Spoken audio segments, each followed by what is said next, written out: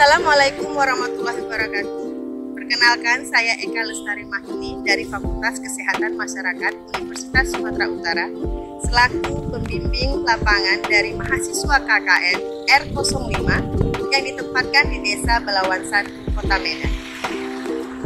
Adapun kegiatan ini kami sangat berterima kasih kepada Ibu Kepala Desa yang telah memperbolehkan kami untuk memberi kontribusi kepada masyarakat dalam rangka meningkatkan ekonomi secara produktif dengan meningkatkan dan kesehatan dan juga kesejahteraan masyarakat selama pandemi COVID-19.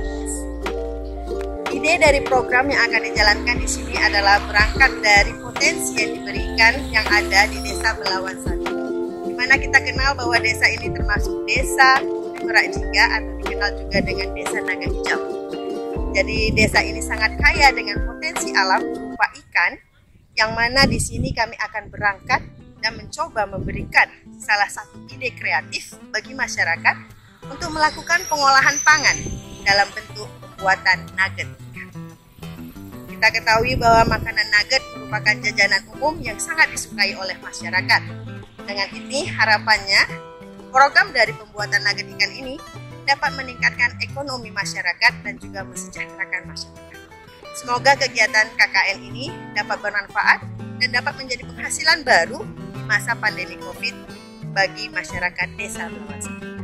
Terima kasih kami ucapkan kepada seluruh perangkat desa, kepala lingkungan, serta masyarakat yang berkontribusi dalam program kegiatan buatan ikan.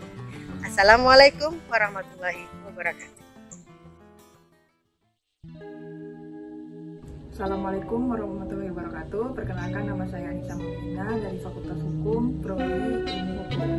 Perkenalkan saya Putri Indah Agustina Tambunan dari Fakultas Ilmu Budaya. Saya Luki Carita Banua dari Fakultas Pertanian. Assalamualaikum warahmatullahi wabarakatuh. Perkenalkan nama saya Nurul Iza Banifa dari mahasiswi Manajemen Sumber Daya Perairan Fakultas Pertanian Universitas Sumatera Utara. Nama saya Fani Putri Julia, saya dari Fakultas Pertanian Universitas Sumatera Utara. Saya Dewi Sandora Berutampu Bolon dari Fakultas Ilmu Budaya. Dalam program kerja ini, kami dari tim memilih salah satu program pengolahan nugget ikan. Kenapa kami memilih program pengolahan nugget ikan? Berdasarkan kondisi dan keadaan masyarakat sekitar, salah satu kondisi masyarakatnya yang berusia remaja masih ada yang sedang putus atau tidak melanjutkan pendidikannya, sekolahnya, serta ibu rumah tangga yang mungkin produktivitasnya masih perlu ditingkatkan. Eh, sehingga maka dari itu kami memilih salah satu program kerja KKN kami ini dalam pembuatan pengolahan nugget ikan yang memiliki nilai ekonomis dan cenderung mudah untuk diterapkan. Oh iya, salah satu alasan kami memilih nugget ikan ini dikarenakan sumber daya alam yang paling terkenal dari Desa Belawan adalah ikan dan tentunya banyak penduduknya yang berprofesi sebagai nelayan. Hal ini dikarenakan Desa Belawan berada berdekatan dengan laut. Program kerja ini dapat menjadi salah satu inspirasi bagi kalangan masyarakat, khususnya yang berusia remaja yang ingin mendapatkan pendapatan utama atau pendapatan sampingan, serta ibu rumah tangga yang sekiranya dapat membantu menunjang produktivitas karena terdampak oleh pandemi ini. Dengan adanya inovasi keterampilan ide berwirausaha dalam mengolah sumber daya hasil tangkapan di sekitar Belawan dapat diharapkan menjadi motivasi mendukung kesejahteraan perekonomian masyarakat. Selain itu, ada beberapa manfaat dari ikan, yaitu ikan mengandung asam lemak tak jenuh seperti omega 3, di mana kandungan pada omega 3 ini lebih tinggi dibandingkan dengan sumber protein hewani lainnya. Banyak manfaat mengonsumsi ikan untuk kesehatan. Tubuh salah satunya menjaga fungsi dan kesehatan tulang, baik juga untuk penderita gangguan tiroid dan dapat menjaga kesehatan mata. Yuk langsung aja nonton video pembuatan nuggetnya. Semoga video ini dapat menjadi inspirasi dan manfaat bagi kita. Selamat menyaksikan.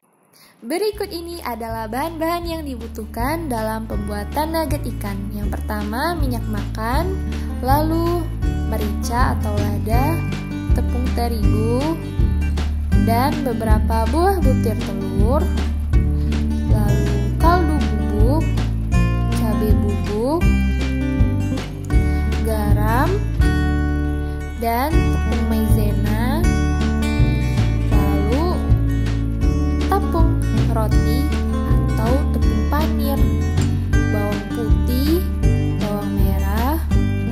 sop, atau seledri.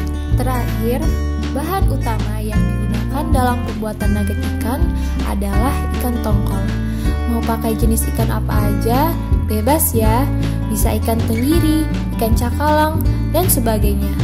Alasan kita memilih pemanfaatan ikan tongkol dalam pembuatan olahan nugget ikan ini adalah selain memiliki manfaat kandungan gizinya yang cukup memadai dalam pemenuhan kebutuhan protein hewani yang berperan penting bagi kesehatan kita, ikan tongkol juga merupakan salah satu komoditi hasil tangkapan utama yang cukup dominan di daerah pesisir Belawan ikan tongkol relatif mudah ditemukan dan memiliki nilai ekonomis penting sejalan dengan minat pasar yang masih memilih tongkol sebagai andalan pemenuhan kebutuhan pangan masyarakat yang harganya pun masih relatif terjangkau.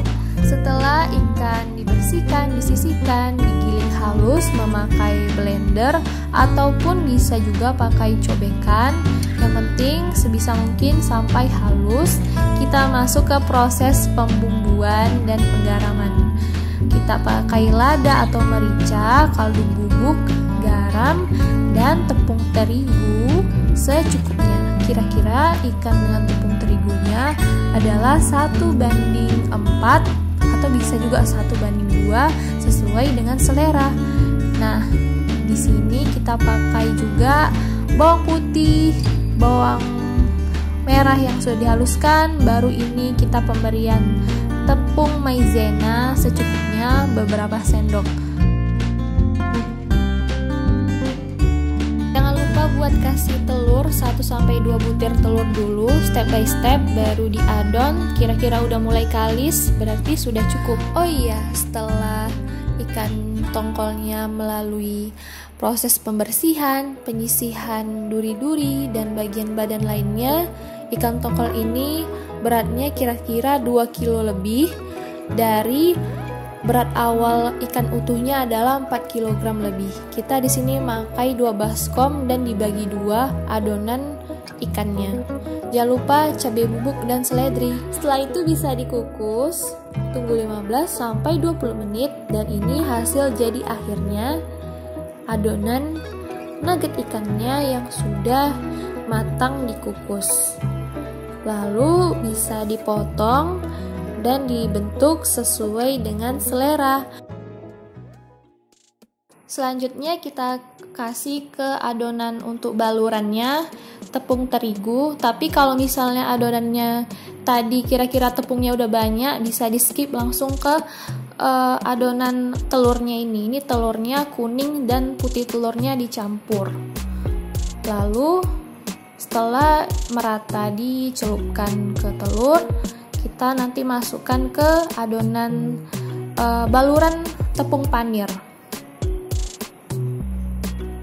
Di sini kita pakai panir yang butirannya lebih kasar karena e, diharapkan pengen tekstur nuggetnya itu bisa lebih crunchy.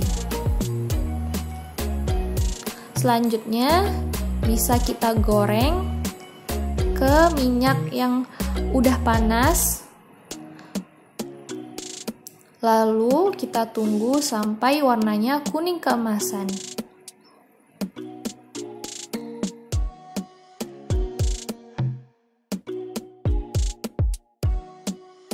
Dan ini adalah hasil akhir dari nugget ikan tongkolnya yang sudah disajikan.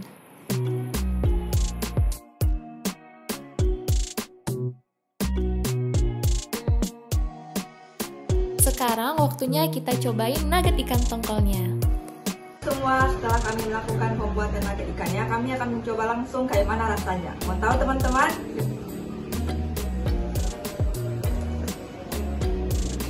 Hmm, enak dan gurih, crispy lagi.